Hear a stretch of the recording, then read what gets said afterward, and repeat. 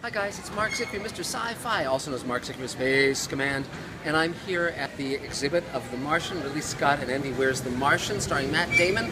This is, of course, the uh, flight ascent suit that he wears. I love spacesuits. At the ArcLight Theater in Hollywood, they also have this Martian ascent suit. The Martian's a terrific film. I've read the book twice. I've, I'm seeing the movie twice. I highly recommend it. And I love a good spacesuit. I mean, all the details, the little controls, all of that is just terrific. I also highly recommend to all of you a movie called Robinson Crusoe on Mars. I just rewatched that. That was made in the early 60s, and he has the same dilemmas, finding food, finding water, finding air. He has flights of fancy, because we didn't know what Mars was like back then as well as we do now. We just found liquid water on Mars, surface water, very exciting. But beyond that, uh, Paul Mantee and um, uh, Victor Lundin, who were the leads in Robinson Crusoe on Mars, I knew them. And years ago, I was part of a club called the Rubber Ears uh, Club, which was uh, Star Trek writers of both TV and novels.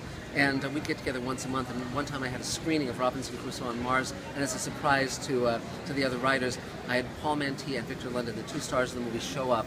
And, and, and, it was just a wonderful evening, an unforgettable memory. Great guys, great film. If you've never seen Robinson Crusoe on Mars, rent it, buy it.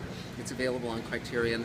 And, and also go see The Martian. I, I think that this film will get people excited about going to Mars. We, need a manned mission to Mars. We need a Mars colony. I think these things will come to happen. All it takes is the public will. The governments are, aren't going to do it, but we as, as a people, as a worldwide species, certainly can. So um, I just wish my friend Ray Bradbury were here. We often talked about Mars exploration. He wrote The Martian Chronicles, which if, if you haven't read it, grab it immediately, read it. It's a phenomenal piece of work. And there's a, a feature on Mars now named after Ray, and that's of course something he was just thrilled to have happen. So for Ray and for all of you, The Martian's worth seeing, and Mars is absolutely worth going to. So it's Marc Zicree, Mr. Sci-Fi, Marc Zicree of Space Command. Share, link, do all the things you do to get the word out about what we're doing. And again, terrific spacesuit and a terrific film. Bye until next time.